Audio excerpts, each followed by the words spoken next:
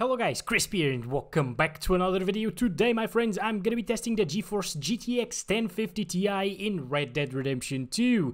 Now, I, I really, really wanted to bring you guys a G100 video in GTA 5 today, but um, unfortunately it doesn't work even in my test bench. I'll need to replace that motherboard on the test bench with another motherboard that actually can run the G100 and older GPUs because I'd love to take a look at them, you know? So yeah, that's why we're testing the 1050 Ti today. You guys have been asking for a Red Dead 2 updated video on this GPU. We're running the latest NVIDIA drivers, 461.40. I am gonna overclock it a little bit. You know, this is the Strix version, so the cooler is absolutely great for overclocking. So plus 100 MHz on a core clock and plus 200 MHz on a memory clock. We're running it with a Ryzen 9 5900X and 32 gigs of RAM. You can get the same FPS with something like a Ryzen 3 3100 or even a Ryzen 5 1400. You don't need the 5900X, of course. And 16 or 12 gigabytes of RAM are also absolutely fine. So with that out of the way, let's get into the game.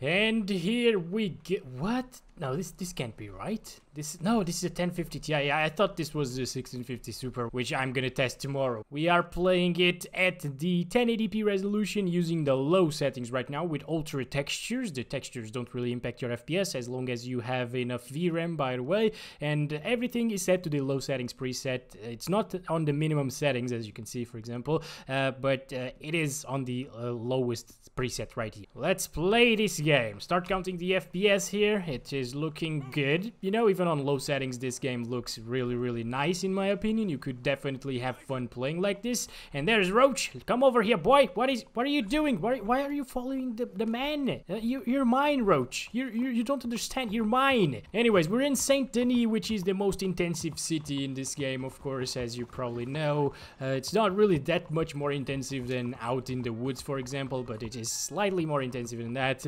And uh, as we are on low settings, you can definitely tell that the detail on the road especially and in the walls and stuff like that, whenever things are far away from you, it's pretty poor. But I would say that it's completely playable and it still looks decent. You can play like this if you're after that uh, smoother experience, 40 plus FPS most of the time. You can get it with the 1050 Ti. As you can see, the game isn't stuttering like at all, which was what they improved the most coming from the previous update. I don't think Roach likes me, by the way. I, I'm always pushing him to the max. Maybe today I won't do that, okay? Just, just be chill, buddy. I'm lying, by the way. Let's get out of Saint Denis and see our FPS outside in the woods. Eat. All right, there you go. All right, I, I gave him food, guys. So here we are getting 40s again. Uh, slightly less intensive than in the city, as I told you.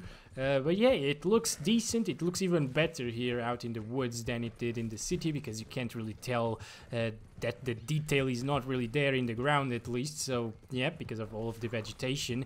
Uh, yeah, going down into the high 30s, low 40s. Pretty much the same thing as in Saint Denis. So this is why I... What did you do? Are you spider horse now? Spider horse. It's actually dropping a little bit more here than in Saint Denis, which is kind of interesting. I think that's what we've seen with the GTX 1650 as well, if I'm not mistaken. The 1030 was the one that did drop quite a bit inside of the city compared to here. So yeah you can expect around like what 40 45 fps average with a 1050 ti on low settings.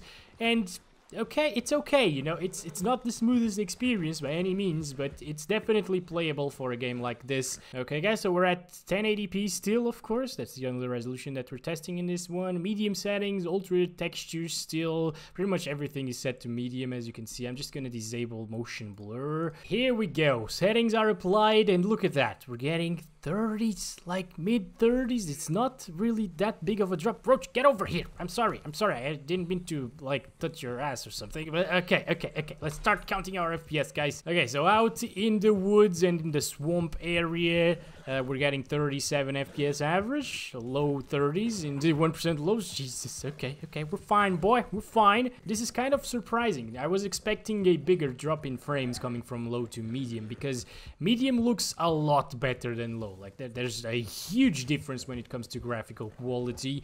And uh, by the way, the fog effect doesn't really do much to your FPS. It, it stays about the same, I think. It might actually be just a little bit more intensive right now. It, it has cleared up a little bit and we're getting more FPS. But yeah, it's it's running really, really well for a 1050 Ti. You can lock the FPS to 30, play with a controller, and have a console-like experience. I even think that these medium settings actually look a little bit better, just a little bit better than the Xbox One X settings that we're gonna test here in this video as well. So uh, yeah, they're usually just a tiny bit more intensive, these settings, than the Xbox One X. So it's good to see that the 1050 Ti is doing a much better job compared to what it was capable of like a year ago. I am really impressed, my friends, I gotta say. Uh, it, it might also be just a little bit because of the overclock. The overclock might be uh, giving us slightly more FPS, maybe like two to three more frames. So uh, make sure you overclock your 1050 Ti if you're playing this game on medium to be sure that you're above 30 FPS 100% of the time. 34 degrees Celsius, holy crap, it's hot here in Saint Denis. Eat a little bit more, Roach. Okay, you're fine. The center of it. Oh, whoa, what the heck? What? That happened because of this crap? Are you serious? Oh my gosh, maybe I shouldn't go this way. Oh my gosh, I'm gonna run somebody over and they are gonna kill me. Like all of them. Get out, people, get out, get out of the way. Come on, Jesus. yep, that's murder, definitely. Okay, yeah, oh my gosh. So many red points in the map right now. That's that's awful. Okay, okay, so at, least we're here, you know. Oh, no! God damn it! It is completely playable. Okay, oh boy, alright, this, yep, okay, so the the 1050 Ti on high, it just it just can't do it, guys. Although the frame times are pretty consistent and it, it doesn't stutter and it feels still it feel it's still you know what it feels okay. I I don't know, man. I just this game they did something weird to the frame times. They're very very consistent. But anyways, uh, these are the high settings now. Uh, I'm not gonna spend too much time here on high, you know, because it's not really that playable. But uh, as you can see, a lot of the things are on high. Some things are on ultra. Some things are on medium. So it averages to high. These are not the same high settings from the 570 video or the 1650 video because this game has different presets for different cards, which is very weird, but uh, yep, it, it, does that. Uh, where's Roach, by the way? Hey, it's, it's becoming more intensive. All right, all right. Yeah, maybe the vegetation on high settings is extremely intensive. It does look really beautiful, though. But yeah, I wouldn't play like this. Just play on medium settings. It already looks really beautiful and you get always above 30 FPS. So there's no point in doing this, you know. I'm gonna stop it right there. Okay, these are the Xbox One X settings at 1080p resolution. Of course, the console itself runs it at 4K instead of 1080p, but uh, uh, it runs it at these graphical settings that you're seeing right now.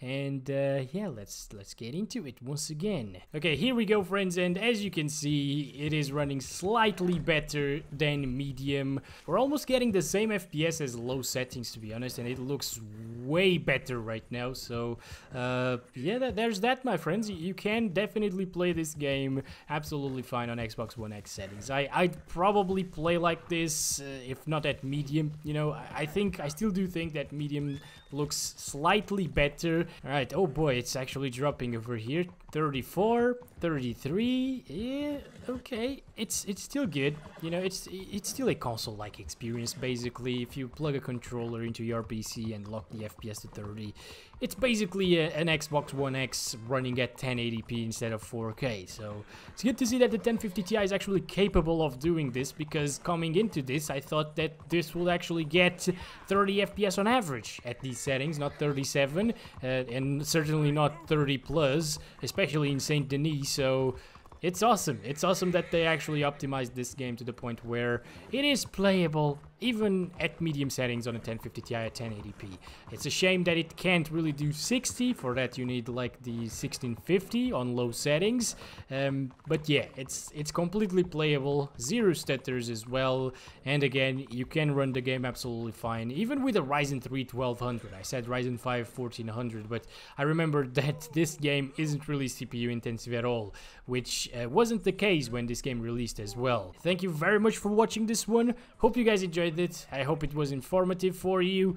I'm sorry I couldn't bring you guys a G100 video today, but uh, hopefully that will come next week with facecam and everything, you know? So thanks for watching and thanks for being here. Love you all. Bye-bye.